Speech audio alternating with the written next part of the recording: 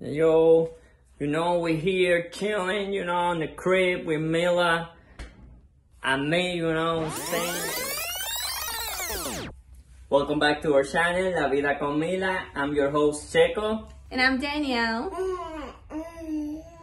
And this is Yeah. the beautiful baby, Mila. Yes.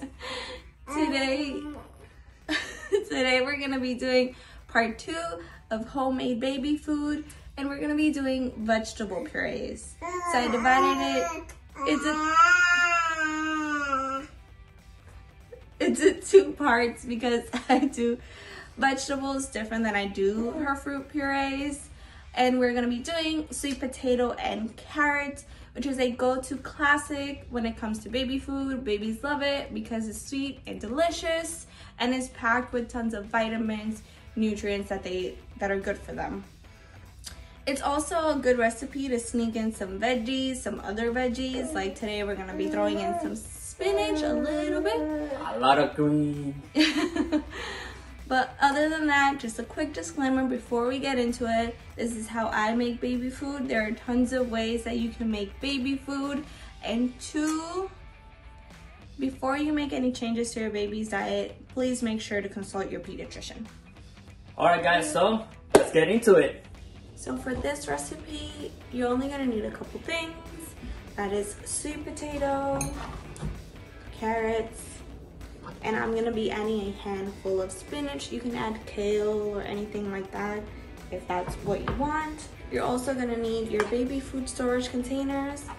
I use a glass container for her veggies because what I like to do is I like to fill them up to maybe the two ounce mark about here and then I'll stir in one of her servings of fruit purees into this because she tends to like the sweeter um, combinations. You will also need a vegetable steamer because what I like to do with her vegetables is I like to steam them. So either you can make a makeshift vegetable steamer like I have back there that I'll show you in a minute or an actual vegetable steamer. If you don't have that, you can go ahead and boil them, but ideally you want to steam, bake, or roast when it comes to making baby food because you want minimal loss of nutrients. But other than that, that's it. So I'm gonna start um, by adding some water into my makeshift vegetable steamer. I didn't have one, but I had a metal colander that fit exactly into a pot. So I used that. And then I just fill up with water.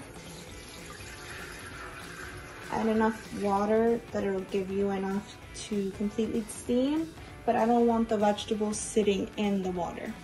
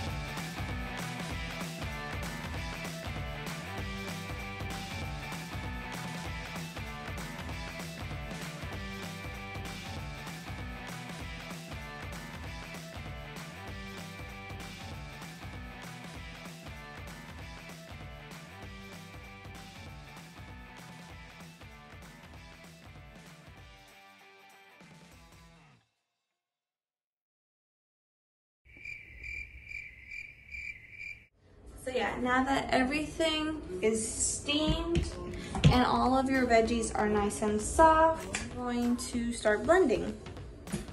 We're just gonna go ahead and throw everything in here.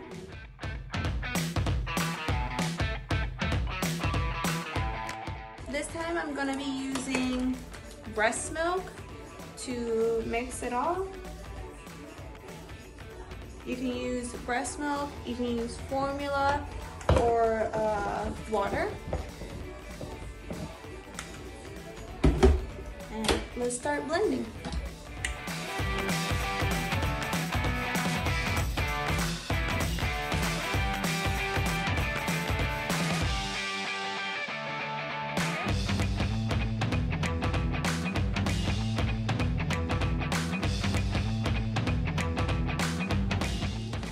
So once you've blended it all up and you've put it in your storage containers, whether it be glass containers, silicone containers, whatever you prefer, it'll look like so.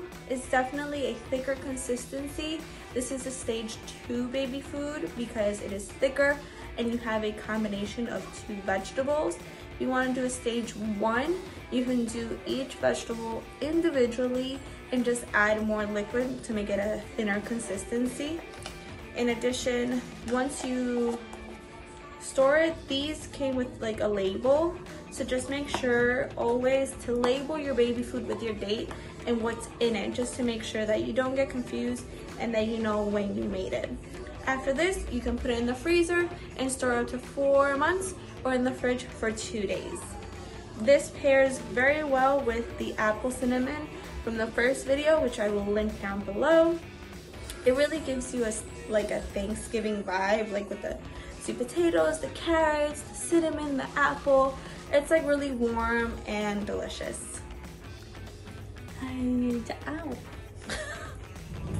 So that's it everybody for part two of homemade baby food for vegetable purees. Uh, make sure to tune in next week for more content. Alright guys, just remember to like, share, and subscribe. And we will be putting our Instagram handle in the Instagram in the in the description below, along with the link to all the things that I use to make homemade baby food. Alright guys, see you guys next week.